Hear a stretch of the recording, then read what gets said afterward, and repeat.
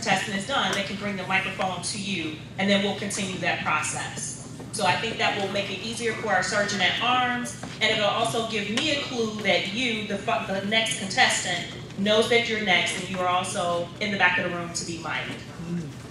All right, I think I've done enough housekeeping. I've done that enough times to be able to give us a chance to get back into the room. We are now ready for our second contest, and this is the International Speech Contest.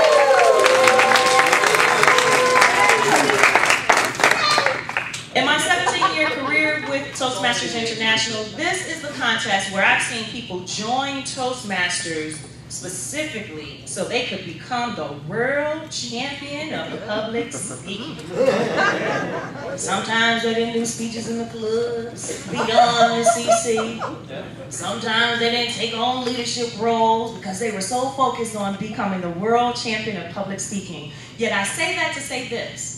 This is the division level. We know after this contest, we go to the district level. And Then from there, we have two more levels for this particular contest. So we know this contest is going to be what? Good. this contest is going to be good. There's a lot at stake here. I've already asked if you can make certain that your mobile devices are on silent. Did you guys get a chance to do that? Yeah. Look at your neighbor and just say, give them the look. Did you? Mm-hmm. All right, good. So your neighbors have done that. Awesome.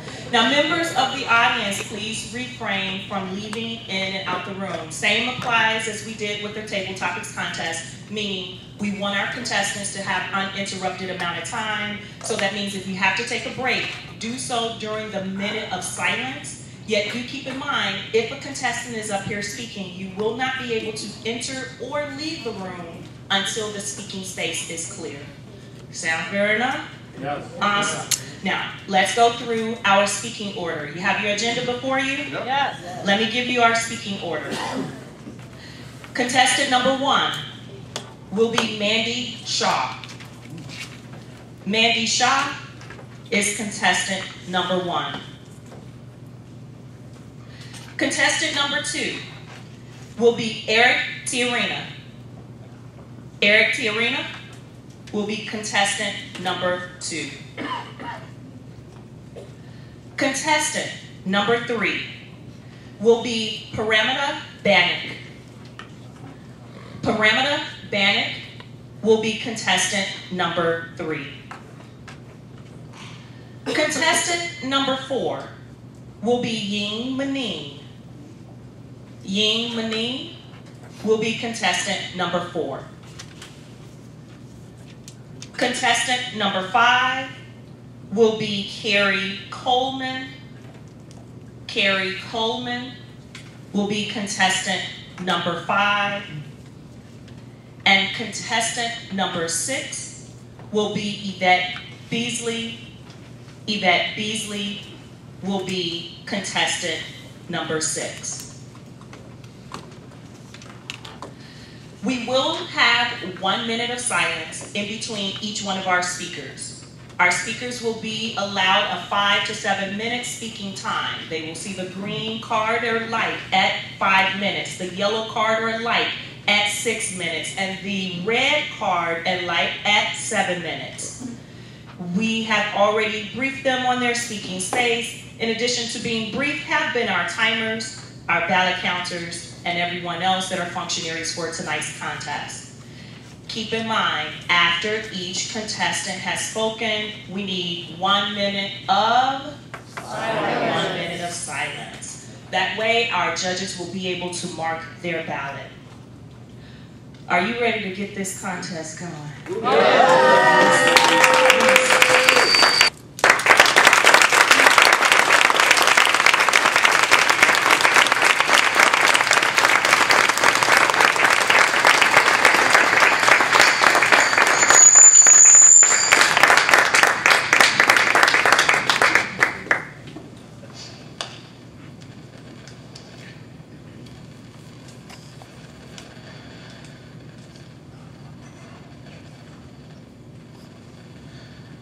few ago, I lost my best friend.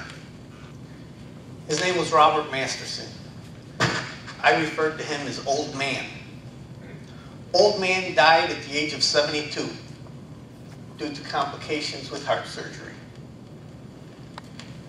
Before he passed, however, old man and his lovely wife, Zelda, celebrated their 50th wedding anniversary. I was privileged to attend. I remember wishing that my own marriage would last that long. My parents enjoyed a long marriage. They were married in Mexico in 1949. They had a total of eight children. I happened to be the youngest. I remember my mother also struggling with heart issues during her lifetime. She also had diabetes, and that complicated things. In 1996, my mother passed away, and my father buried her on their 47th wedding anniversary. I've been privileged to be married for almost 25 years to my lovely wife, Valerie.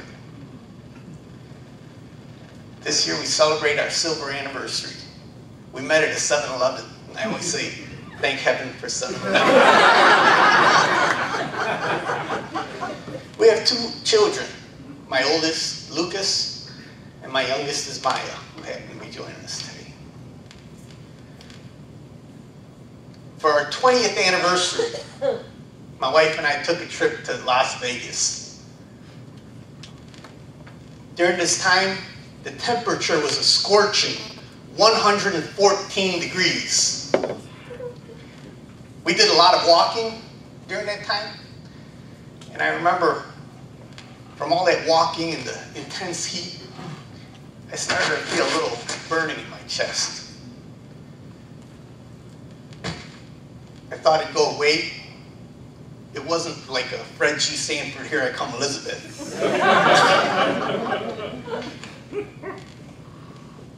Unfortunately, for me, what happened in Vegas didn't stay in Vegas. Back in Chicago, as I'm walking to work, I start feeling that burning in my chest as I walk uphill again. Felt kind of like a heartburn. Later, I would even feel it walking downhill as I approached a bus stop. I mentioned it to my my, my, my physician. He recommended I take a stress test. The stress test led to an angiogram. The angiogram led to a quadruple bypass. I had a lot of friends, family joining us and, and hoping I was doing better. They signed my heart and everything. and I appreciate it. but most importantly, my wife was there.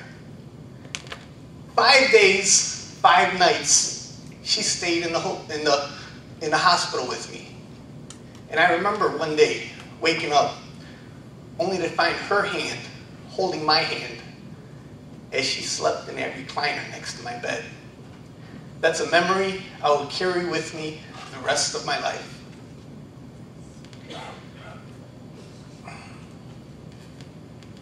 After being in the hospital for a week, my daughter welcomed me home with a message on her driveway. My son signed it at the bottom, trying to take credit for her work.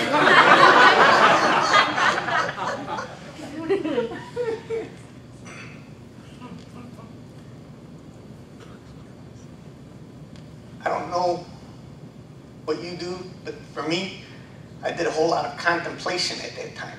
And I came across this Bible verse that seemed specific to my particular situation.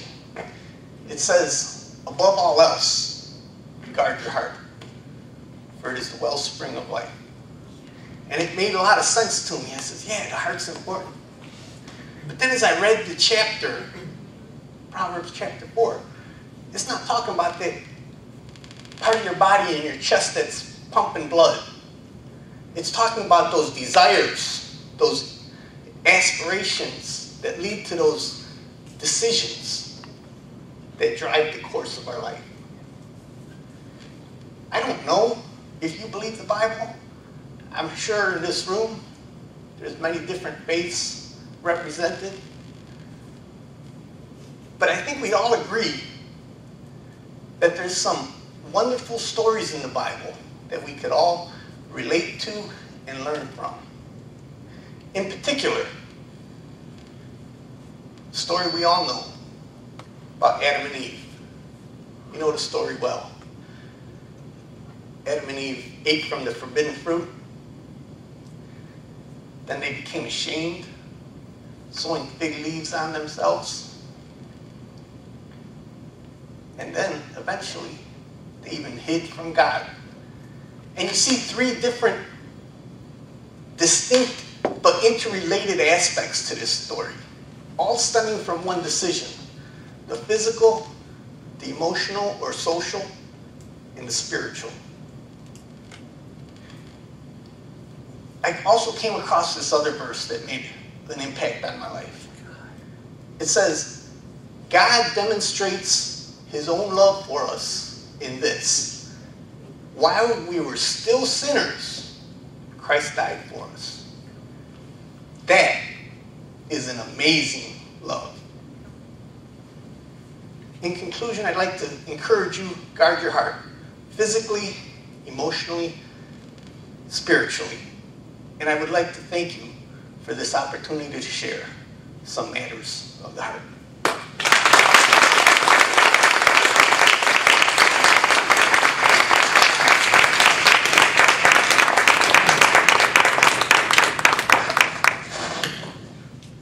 Madam Timers, let's have one minute of silence, or one minute on the clock for our moment of silence.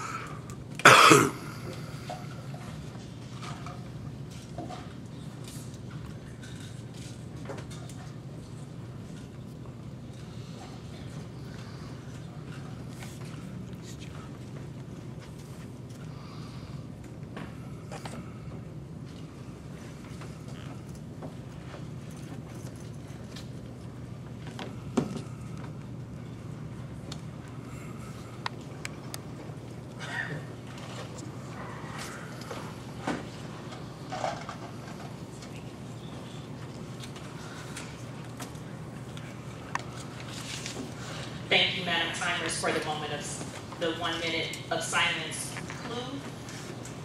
Mr. Tech Master, is this sounding better? Testing, testing, great. It looks as if our third contestant has been mic'd and is ready to go. And it also seems as if our actual mics are ready to go. Our third contestant is Paramita Bandit. Enjoy the journey. Enjoy the journey, Paramita Bandit.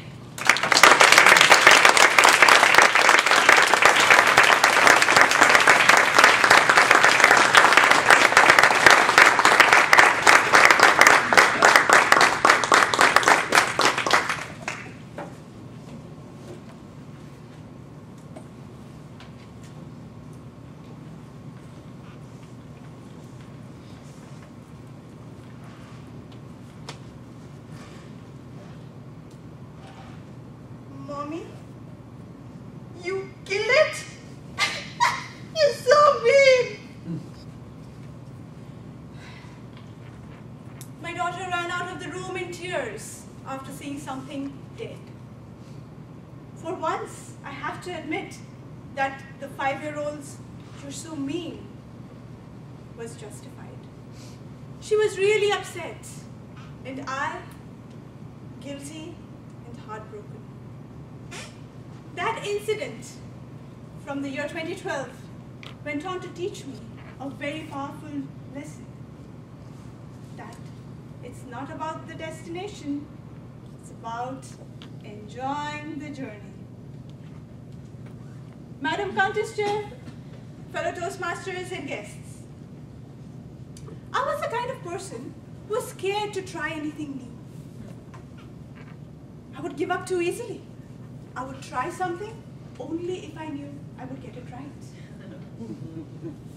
Once I became a parent, I realized that I cannot teach my child how not to give up if I don't practice it myself. High time I did something about it. I started with a basic internet recipe for how not to give up. Three simple steps. Step one, have a goal. Step two, start small. And step three, stick with it.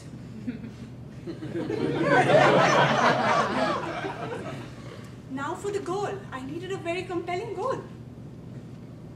Let me tell you how I got that goal. Rewind to 2012. My daughter came home with a little gift for mommy on Mother's Day. A cute little plant. Now she didn't know that mommy had killed plants in the past. and decided to never have a plant in the house again. The plant is here now, mommy's day gift. I watered it religiously for the first three days. I set it out on the patio, clearly out of sight. And out of sight means out of mind. By the time I remembered that cute little plant for mommy was already dead. I felt like the meanest mommy in the whole world.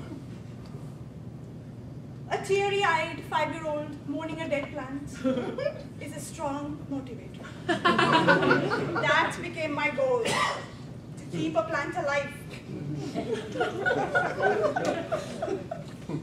but I have to start small, don't I?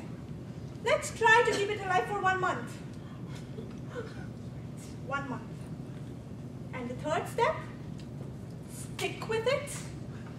Stick with it I did. Three years. Wow. I had my fair share of adventures, from seeds that never sprouted, to leaving a poinsettia under a heating vent. I didn't have much luck. My daughter, who is now eight, she's graduated from, you're so mean, to, oh, mommy, you can also kill an artificial plant, can't you? don't give up, don't give up. This year might actually be lucky. I'll tell you why.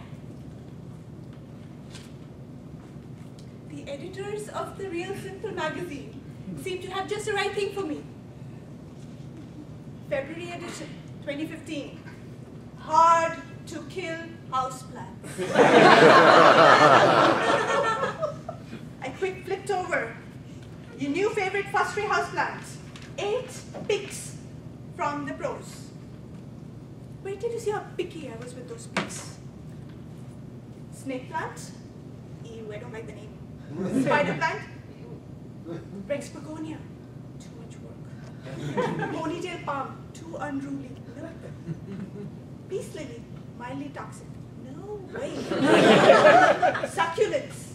Too unattractive. ZZ plant. Too big. Air plant. Tiny. Needs to be misted. Doesn't need to be watered. That I can keep at my work desk. That would not have an out of sight, out of mind episode. Just right. I beat Goldilocks, didn't I? the air plant it was. That's what I went and got. It's been six months, weeks since I got the air. And guess what? It is alive! I did it! I finally did it! This thing is alive. I've reached that hard destination. Mission accomplished. Congratulations and celebrations. But hang, hang on. Something doesn't seem right. I am here at my much awaited destination. But why am I sad that that journey's over? I think I know. Sometime during that journey, I actually started having fun. fun. I actually started enjoying the journey. I stopped worrying about the finish line. That's it! That was the secret ingredient that was missing from all my recipes. I did not enjoy the journey. Priceless lesson, isn't it? Sometimes you just need to live it, to experience it, and to understand what it truly means. Enjoy the journey. Nowadays, I remind myself to enjoy any journey. I'm grateful for all the forces that work together to teach me what this means from that 2012 plant to the 2015 plant and everything in between. Do you remind, remember to enjoy your journeys? The metro journey that you have every morning, even if that alarm woke you out, uh, up at an insane hour. How about the Toastmasters journey, even if you still blank out on that table topic? How about life's journey, even if it can sometimes be so mean? Enjoy the journey. By the way, my daughter thought the plant was really cute and wanted one for herself. I owe her one big time. Madam Thunderstone.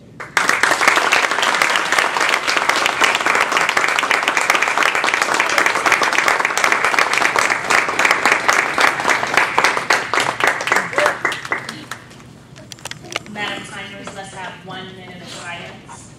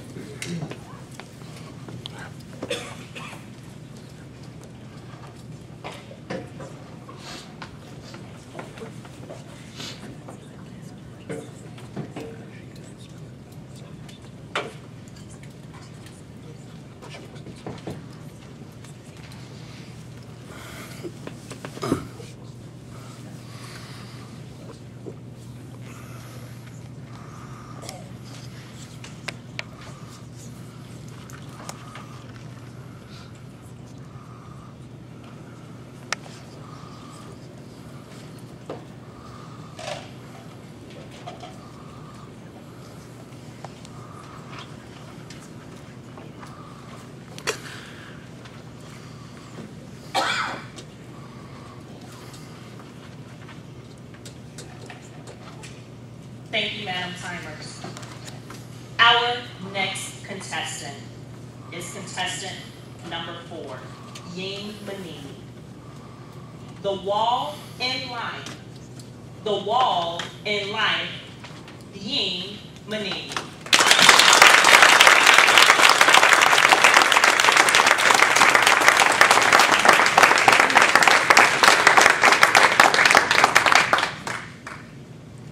The year was 2013.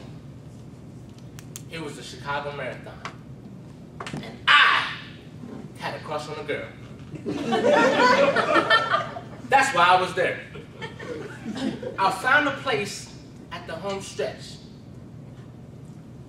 The home stretch of the marathon is when you make that turn, and that's when the first time you'll see the finish line. Mm-hmm. I got comfortable. I received a text. She finished. What? but I stayed anyway. I saw runners coming around the corner, seeing the finish line for the first time. I saw millions of people with the signs up, and I was inspired. Then the four words that gets all of us in trouble in life came up. Fellow Toastmasters, guys, have you ever said to yourself, I can do that? I was inspired, slash my competitiveness, and I said I could do that. Guess what happened next year? Yeah. I signed up for the race. And the night before, I had my pink shorts laid down on my bed, my number and my shoes, just like you're going on a job interview. Just like that next day, it's your first day of class. I sat there in a dark room and I visioned me running a marathon. Did I train? Did I take it serious to the day before? But I showed up and I started running. Mile five, I felt alive. Mile eight, I felt great. Mile 13, I was hurting. I was hurt. I drank some Gatorade and I kept running. At mile 18, I cried. I have to go to the medical tent. Doctor, save me. She said, lay down, son. Let me stretch you. She said, you have runner's knee. It's common. To be honest, I wanted her to tell me that I couldn't go on anymore. Because I wanted to quit. So I can go on Facebook and type in, due to technical difficulties, I can't go on anymore. But being the doctor, she said, son, young man, she gave me that volunteer look like you wasting my time. she said, you have a choice to make. You need to quit or keep going. I limped away, drank some more Gatorade. I am a self-help junkie. Mm-hmm. Personal development keeps me going because the world is negative and I need something to keep me going. I'm a fan of Jim Rohn, Les Brown, Tony Robbins, and there's this new guy named Eric Thomas. Mr.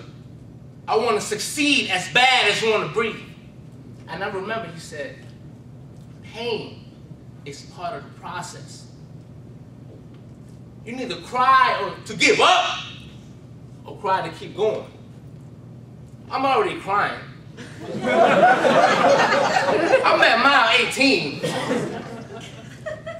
I look back, came pretty far. So I kept going. I hit the wall oh. at mile 18. I cried. I talked myself into it. Mile 19, that happened again. It happened all the way through mile 26. And I turned the corner. I saw the finish line. My mind, I started sprinting. My body, you better stop playing.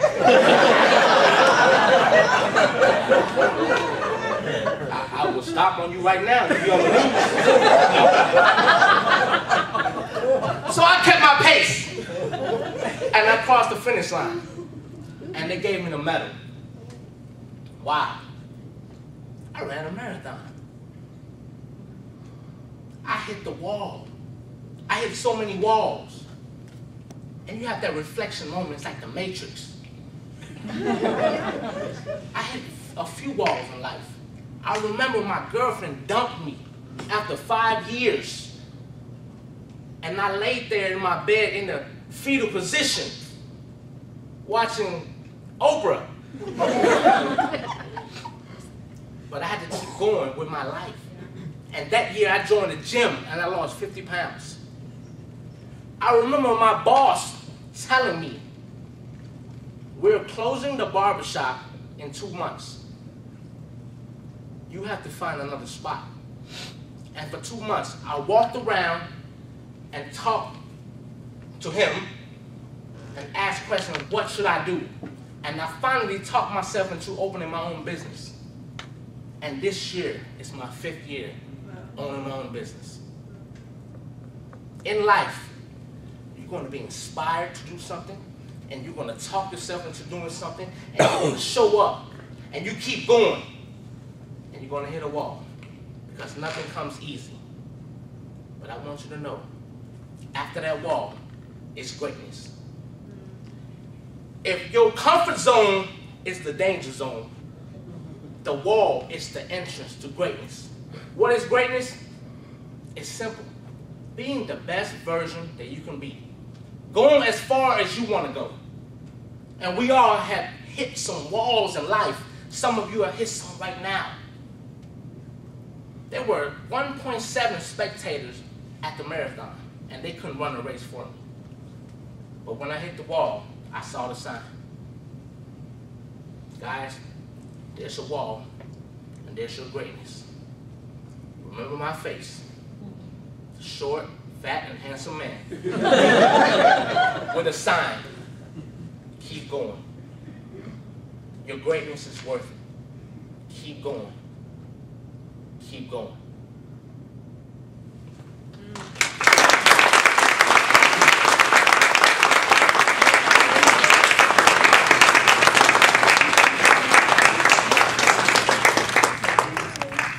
Madam Timers, let's have one minute on the clock for our moment of silence.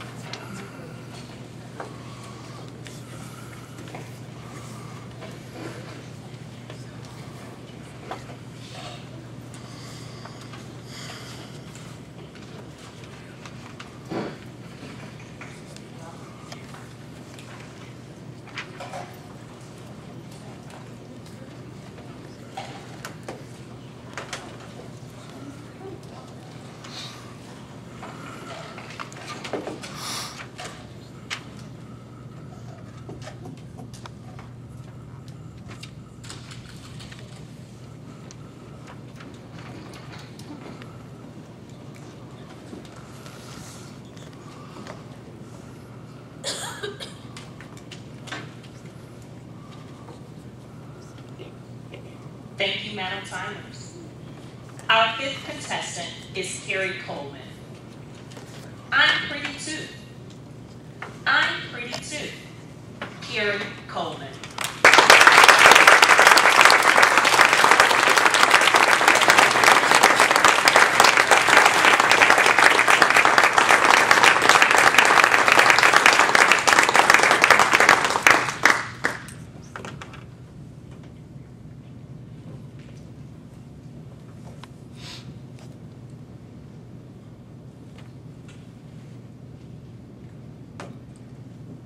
You show is ugly.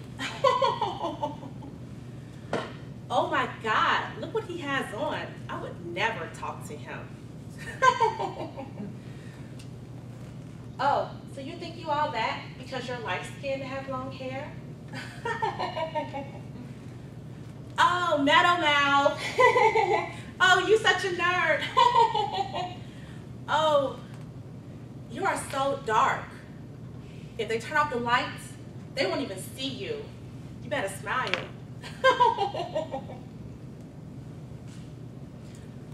Sticks and stones may break your bones, but words will never hurt you.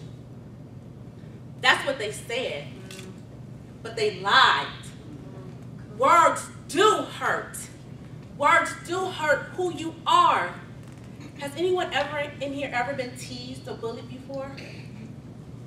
So you can agree with me that words do hurt. I remember it so well, having to walk to that corner and seeing that long yellow school bus.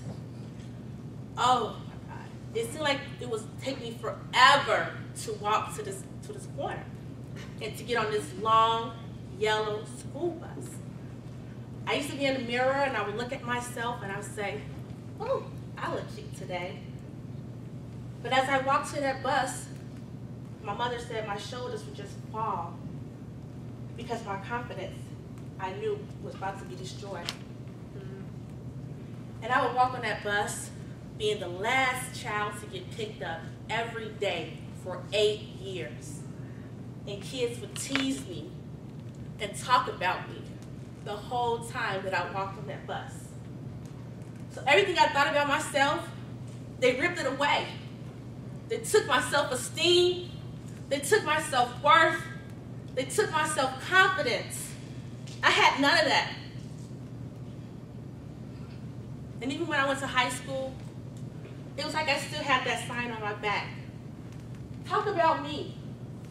I could be on one end of the of the hallway and a, and a student would yell out, hey Blackie! And all of a sudden my whole day was changed. But then one day, I said to myself, I had enough. Who are you to tell me that I am not pretty? Who are you to determine my worth? And I went to the bathroom and I got a mirror. And I looked at myself and I said, I'm pretty too. And I started to believe those three words, I'm pretty too. I'm here to tell you today that we are all pretty too. And that nobody's reality, no one's opinion should become your reality. So those who raised your hand, that was my story. But I know you have a similar story like mine. But I stand here to tell you today that you're pretty too. This bullying and teasing is just like a cancer. If you don't catch it right away, it eats away at you, eats away at your self-esteem, eats away at your self-worth, eats away at your self-confidence. But I wanted to create a, just like cancer, they create organizations for people like that, right? To give them money. So I decided to create an organization myself with those same three words. I'm pretty too. So now I have an organization where I help young girls understand how beautiful they are and that they can be unapologetically who they are. Yeah. You don't have to look like the girl in the magazine. You don't have to look like the people you see on Facebook and Instagram. You are pretty too, just the way you are. No one wants to be teased. It's a terrible thing. It changes who you are. I looked in the mirror just to show you that I said that I was pretty too. But did I not tell you that it took me to be 25 years old to look in the mirror and say that I was pretty too? Being teased and being bullied, it takes a toll on you. And so I'm not telling you that overnight that you're to feel better about yourself. But if you just start today telling yourself that you're worth it, that you're beautiful, that you can be all that you want to be, trust me, just like my vision board, it'll come to life. Because you are just that. So I stand here today again, letting you know that you and you are pretty too. I have one thing I wanted to say, and it's losing my mind right now. but I, I did want to say to you guys, again, that you are pretty too. Thank you.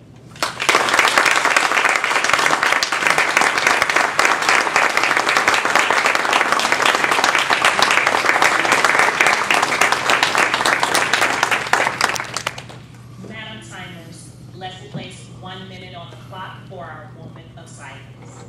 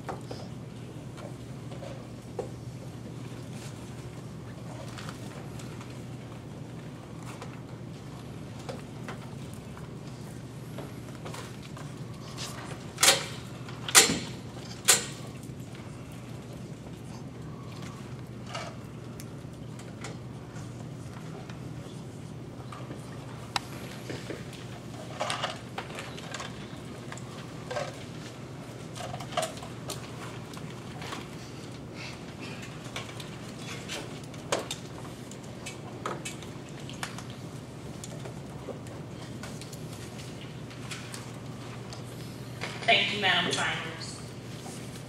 Our final and sixth contestant is Eva- uh, Yvette Beasley. Failure is not an option. Failure is not an option. Yvette Beasley.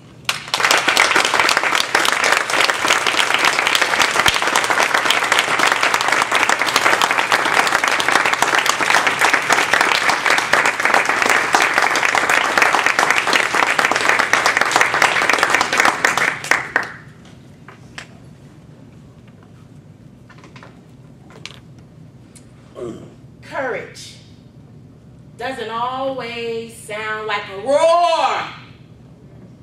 Sometimes courage is that still small voice that you hear at the end of the day that says, I'll try again tomorrow. Those was words that I came across by Mary Ann Ratcher.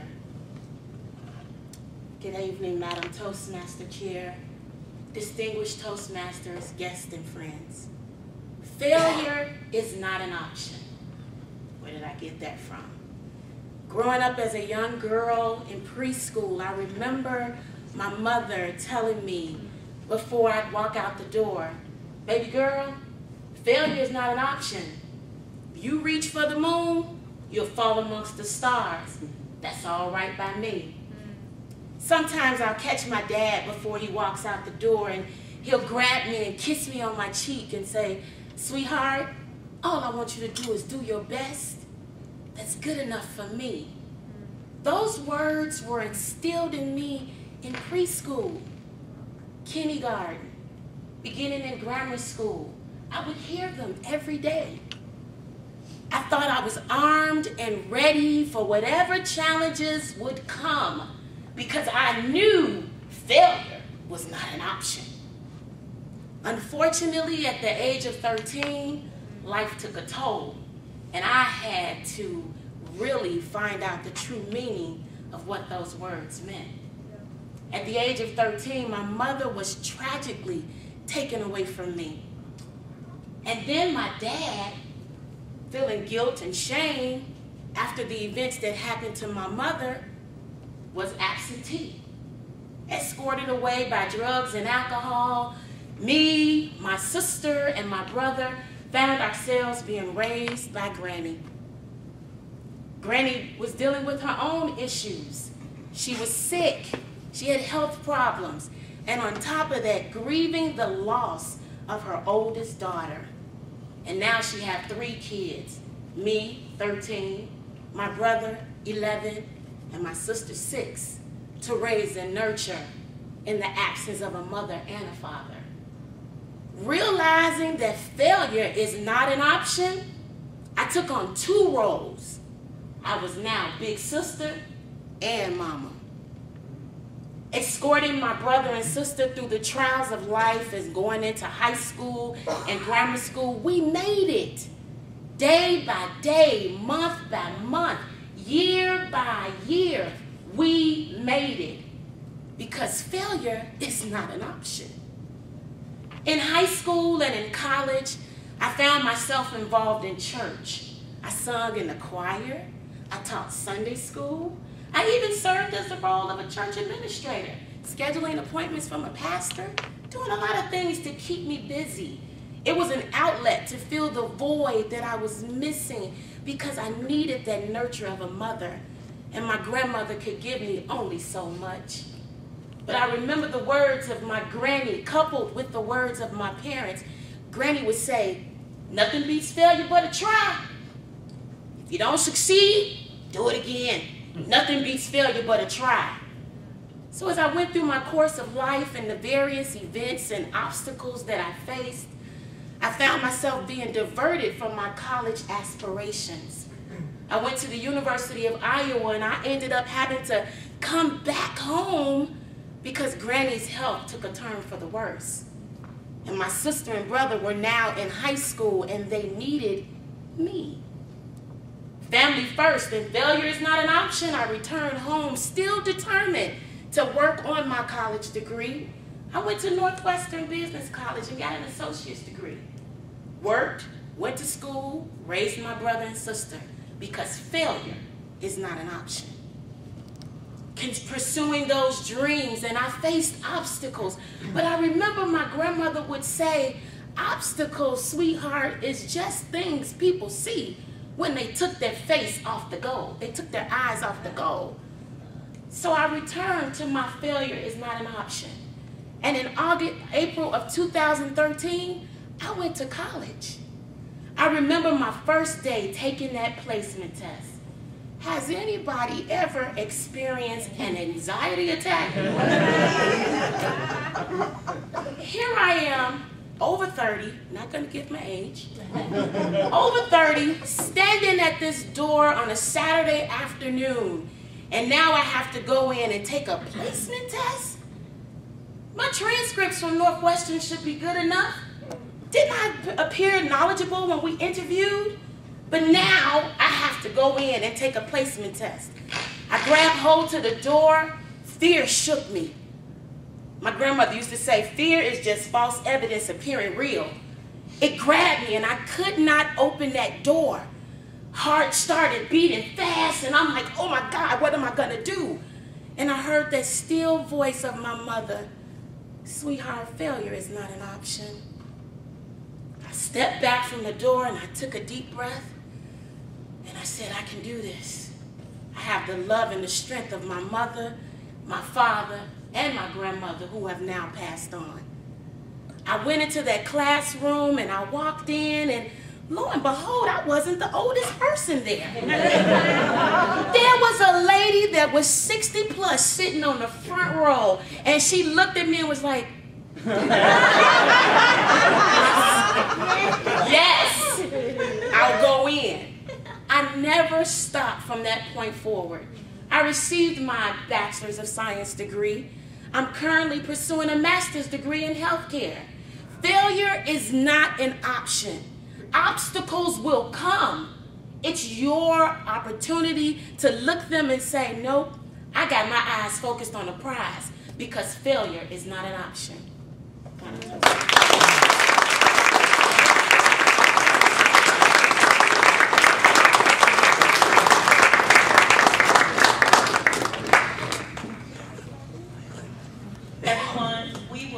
As much time as needed.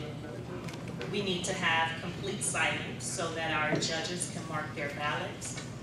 And then we can speak when we get the clue that all ballots have been collected. よろしくお願いします。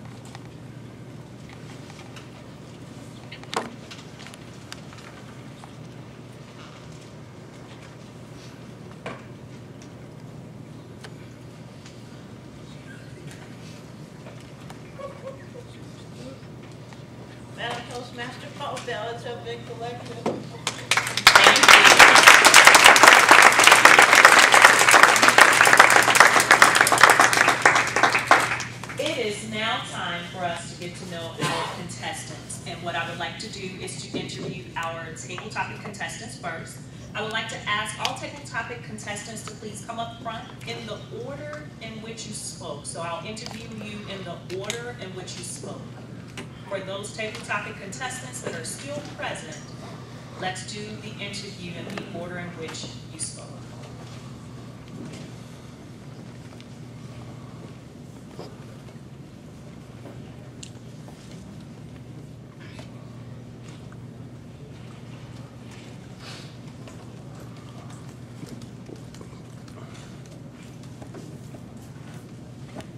Let's give our table topic contestants a round of applause.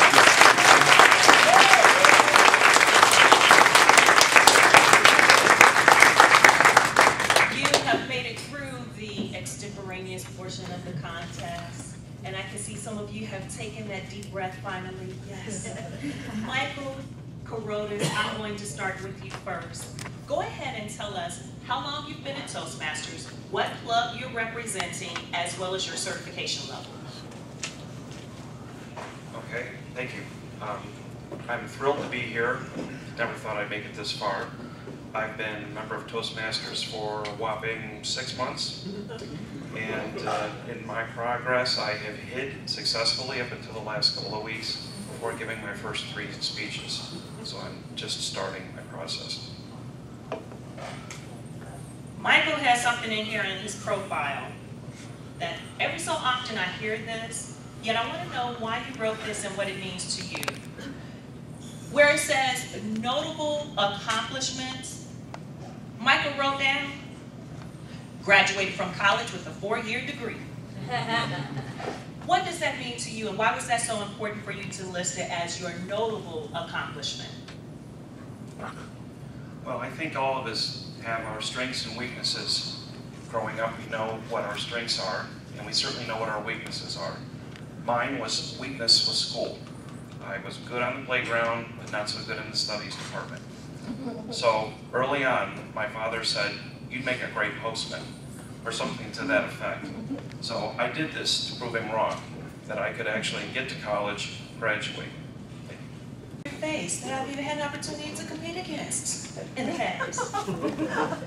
Mr. Tim Wilson, let us know which club you're representing, how long you've been in Toastmaster, and what your certification level is.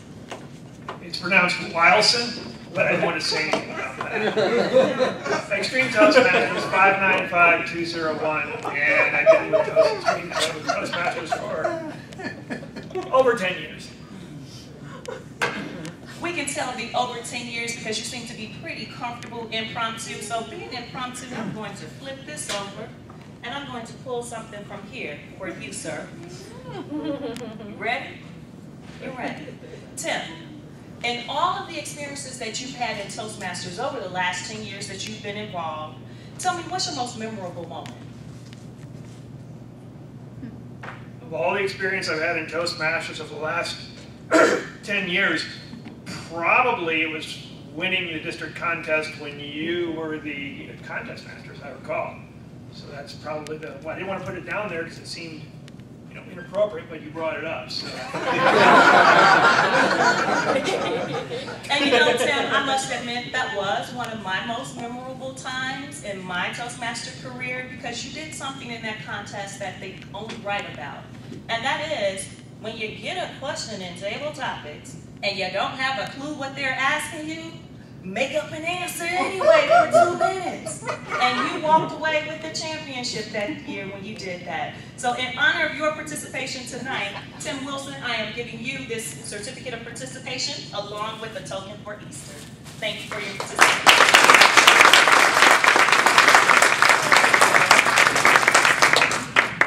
Mr. Charles Carruthers, give us some feedback on what club you're representing, how long you've been in Toastmasters, and your certification level right now.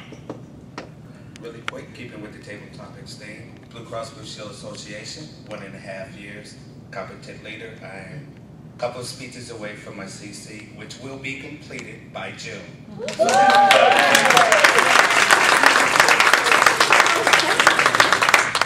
Charles, you have listed here travel as your interests, as your hobbies. Not only is it listed as travel, but it's in all caps. so what does that actually mean when you say travel? Give us a little bit more feedback there. Being a product of the greatest fighting force in America known as the United States Navy, I have been privileged to serve 23 years. I got to see half of the world. I would do it over and over and over and over and over. My two minutes up yet? Again, if I could. I tell everyone, the young people that I mentor as part of the organization that I'm with, if you don't have any idea of where to go after high school, not college, or you don't have employment, the military is a great place to start. Now, it's not for everyone, but it's a great place to start. And I'm glad I started there.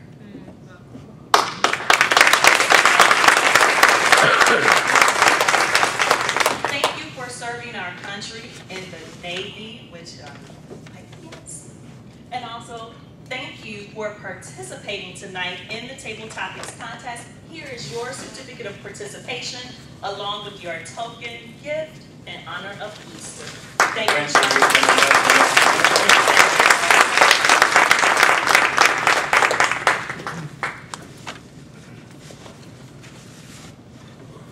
As we go to our final contestant that's being interviewed for the Table Topics contest, Miss Cynthia Sharp. Cynthia, club, year, certification. Blue Cross Blue Shield, Club 2, three years, CC and Advanced Leader Bronze. Now, when you came up for the contest, you and I had a moment there. You almost didn't want to let my hand go. Did you find in that moment you were able to use the energy that you were feeling and put it into your presentation? And if so, how did you manage to do that? Thank you for noticing that. You know, as I was walking up and aware of the question, I felt a sense that time was slowing down a little bit and that I was relishing every second. I was looking around because I wanted to imprint this into my brain. I wanted to remember, and then by the time I got up here and shook your hand, the woman that I saw a few years ago, went, man, I want to be like her. She's amazing. I felt so much emotion. I thought I was going to lose my composure on the spot. And I had to just hang on for just a second and just let it all come into the cells of my body. I don't know when, I have no idea. But you know, I think my, my, for lack of a better word, what I, I do when I'm coming for table topics is the most important thing I think is to connect. To be very connected to, I don't, you know, if you're a Christian, it's the Holy Spirit. If you're, you're whatever, all that is. It's being connected and just being present, just being right here, right now. I had no idea what I was going to say. I just knew that I needed to connect and let it just flow out. So I think holding your hand for that second, she's a great, a great, you know, handshake here. It's nice and strong. I like it. I think it did kind of connect, just kind of ground me just slightly. Even though I felt the ground coming up, but it did make a difference for me, and I appreciate you letting me do that. Thank you. yeah, Les Brown liked my handshake too when he met me a few years ago. It's like, wow, she has an awesome handshake. That's awesome. So I'm glad that my handshake was there to help ground you. And more importantly, I'm glad that you were able to connect in your message as well as to connect with your participation in this year's Central North Division Table Topics Contest. Cynthia, here's your certificate of participation along with your gift for Easter. Thank you.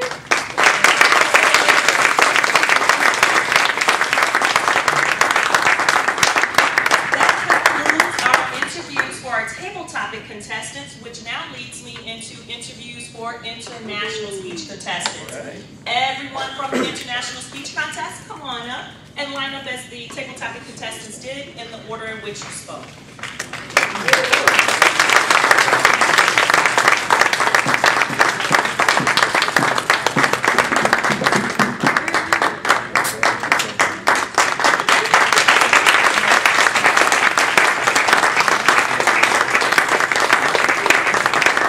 Tarina, Eric, come a little closer.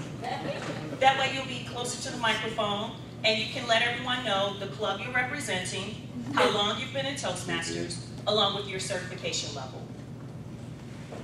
I represent the Blue Cross Blue Shield of Illinois Club One. We have two great clubs. I can never remember the number. One five four five zero three eight.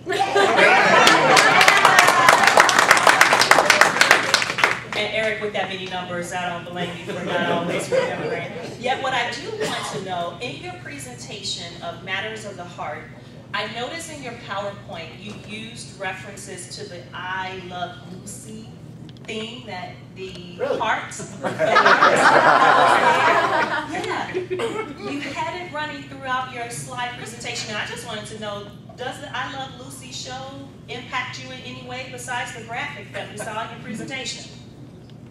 I love old stuff. I, I watch, I'm a, a geek and I, I love watching Antiques Roadshow. I love old movies. Uh, it's a Wonderful Life, one of my favorite movies. If you've seen It's a Wonderful Life, you also gotta see a movie called On Borrowed Time. Check it out. Now you've given us some homework to do for the weekend, yet you've done your homework tonight by presenting for us Matters of the Heart. Thank you so much for sharing your hmm. personal story. Here is your certificate of participation along with your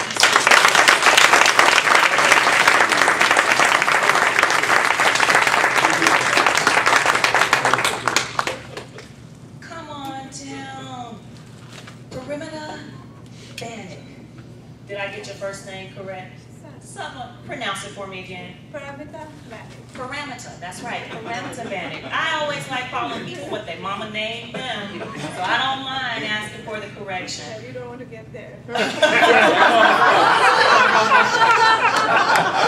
And I'll come back to the mama part a little later. Yeah, but right now, Paramita, what I want to know is what club are you representing, how long you've been in Toastmasters, and what your certification level is. I'm from the Premier Toastmasters Club. You need the number? 918568. I've been here for a year and I'm two speeches away from my CC. I've loved the Toastmasters eh, since a child. My father was a Toastmaster and he kept telling me to join and I kept giving him excuses how there never was a club in my area. That wasn't true. And it's also, and I used to hear stories about him talking about an Arab police officer promoting the Toastmaster activities in Dubai, where he was. He happens to be Lieutenant Colonel Mohammed Murad, our international president. And it's funny how I've come a full circle knowing that, and I'm now a part of Toastmasters journey.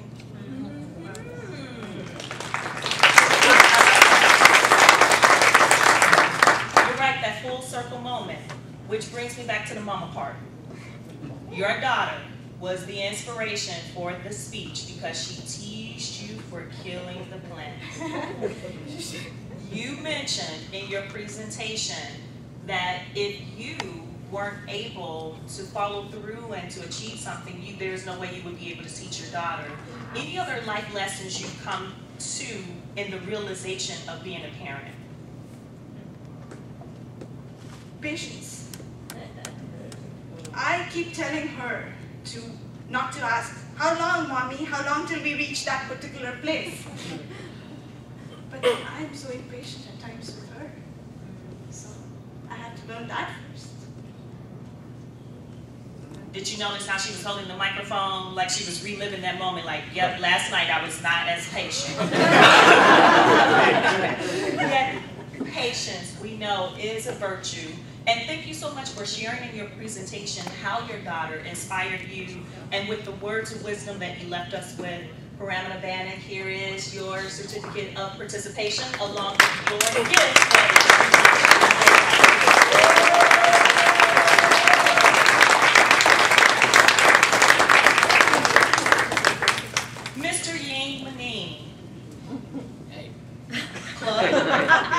Michigan Avenue Toastmasters. Hold on, hold on seven five two. Did you all hear? No, I want you to save your voice, so give me an opportunity. Club, how many years certification? We're just gonna Michigan Avenue Toastmasters. Five seven five two. Over five years, I have a CC and a CL. Oh,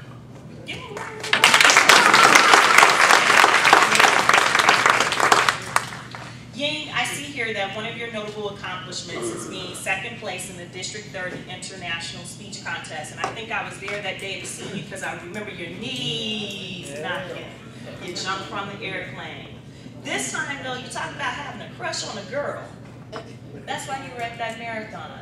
And that's what started it all. Have any other influences happened in your life because of a girl? This time is because of a guy. He introduced me to Toastmasters in 2009. His name is Keith Washington. And he said he won a speech contest. And I said, I can do that too. and I showed up and I was nervous. And there's a guy named Don Campbell in my club who signed me up without my permission. so I said, I'll show him. And I, I, I'm addicted to competing because I like being nervous. I, I don't. I enjoy not being able to sleep before the contest. but now, another pretty girl came into our club. She said, "Will you be my mentor?" I said, "Yes." so I, I started from the bottom, and now I'm here.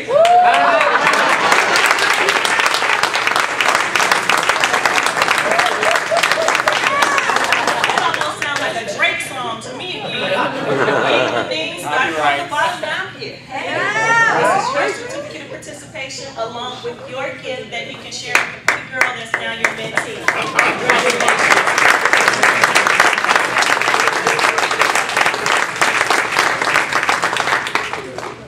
Miss Carrie Coleman, your club, the number of years you've been in Toastmaster, along with your certification level. I am part of CNA Red Hot Club.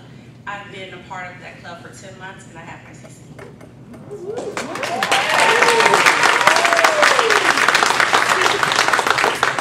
Did she say 10 months and CC? Yeah. Wait a minute. Yeah. Right, right. Yeah. Oh yeah. Yeah, yeah. Good job. She said, I was determined. And you know what else we saw that you were determined in tonight? You were determined in telling your personal story about a topic that we are hearing about a lot lately, especially due to so- social media, and a lot of young people are losing their lives. You took us on that journey of how you were able to get to a place where you can look in your mirror and go, I'm pretty too. Have you, through your organization, been able to assist young girls to get to a place where they could not only say, I'm pretty too, but they could say, I'm all that and a bag of chips? Actually, I have, and that's like the most amazing feeling. Yeah. Um, one, I, one time I did a class about self-esteem, and it's called a pretty portrait. And I actually have the girls look in a mirror and tell themselves that they're pretty too, and affirm themselves that they're pretty, and take the negative that people tell them and say it's pretty too. So if they say, oh, my hair is too short, my hair is pretty too.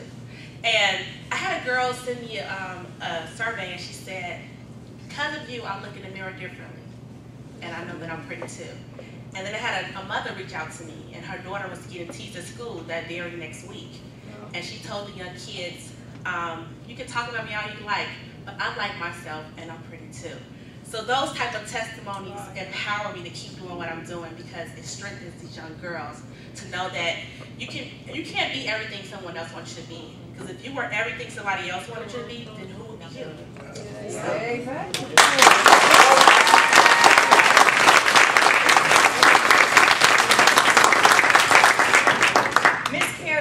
Collect quotes, and that last statement, I'm thinking, man, old Tim has it on video. Is it all right if I add that quote to my collection?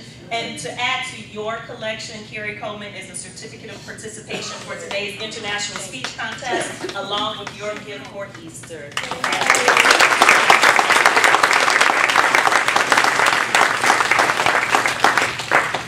Yvette Beasley, tell us, club, number of years, and certification level. I'm with Toastmasters of Blue Cross Blue Shield Association. I've been in Toastmasters for two and a half years, and I've completed my Advanced Communicator Bronze and Advanced Leader Silver.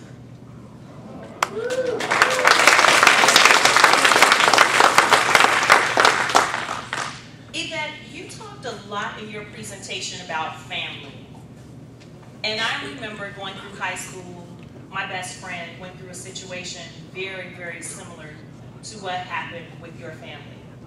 The key difference to me, though, in your story versus hers was the fact that your brothers and sisters seem to still be talking to you. Tell us through your journey of going through everything that you've gone through, experiencing living out failure is not an option. How has that truly impacted the lives of your brother and sister? Well, it has, that was something that was core to us as we were growing up. And my sister and I, we may look alike, but we're night and day. And she, her path was a little bit more rough than mine. And throughout all the courses and all the challenges, she continued to get up and get back up. Even though she would get knocked down, maybe because of a choice of her own, she would always get back up because she knew that there was something better, that failure is not an option and I can't settle for this. So now she's doing well, she's married, she's got two boys, they live in Texas, she works for the VA hospital, and I'm very proud of her. My brother as well, we all took some turns that we may not have been proud of, but we held to the fact that failure is not an option. We're gonna shake the dust off and keep it moving.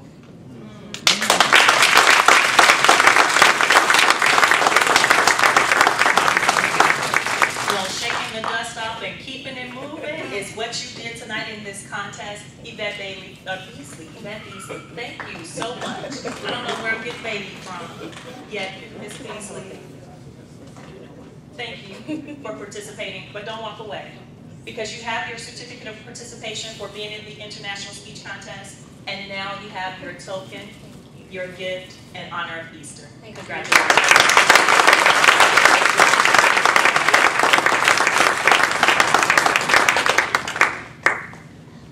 Whew. Everybody let out a sigh. We are now at the point in our agenda where we are ready to close this down. And that means for me, I get an opportunity to take a rest from the microphone and bring back up our Central North Division Governor.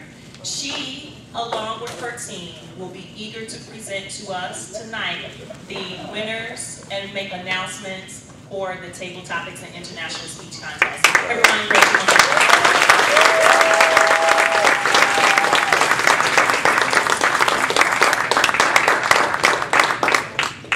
Cassandra, before you go anywhere, I just want you to know, I really appreciate you for being my contest master today. Was she good or what?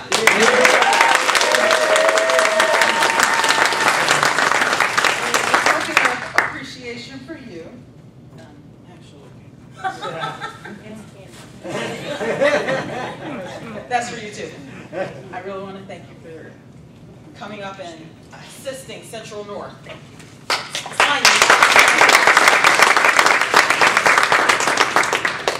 Oh, it's okay. I'm participating in her contest next week. hey, we share. That's the great thing about Toastmasters. Oh yeah, that's right. It is Saturday. We always help each other out, right? Yeah. Right. Now you will notice, and we're running a little long, so I'm going to try to do this really quickly. We have an awards and recognition section on the agenda. That's because there are a few awards that we need to give out.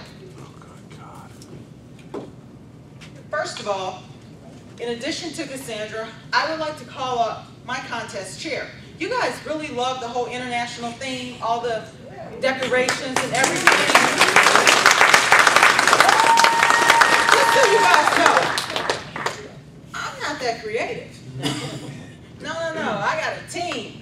And the person who puts together the wonderful newsletter that we send out each month, that's my contest chair. Let me invite up Stephanie Seisel.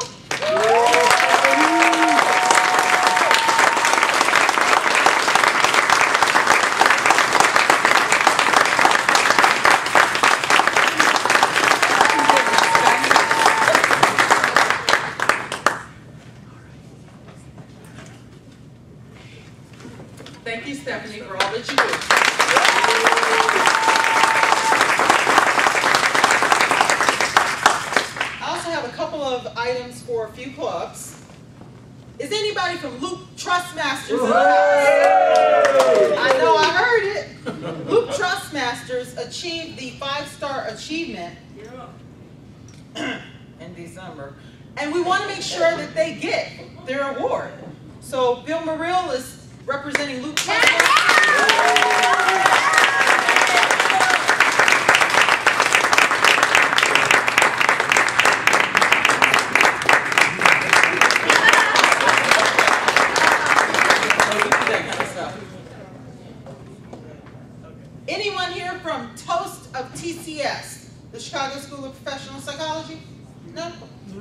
We had an award for them, but nobody's here.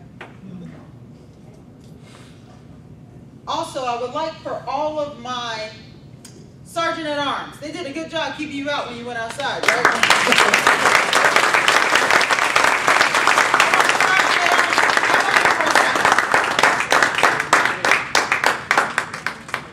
Uh, that's, that's you guys. Come on. it really is you. I mean,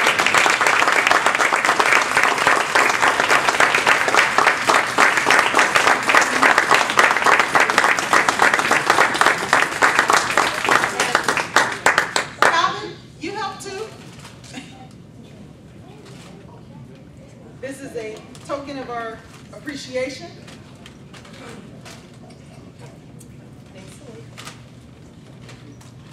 Calvin's my next one.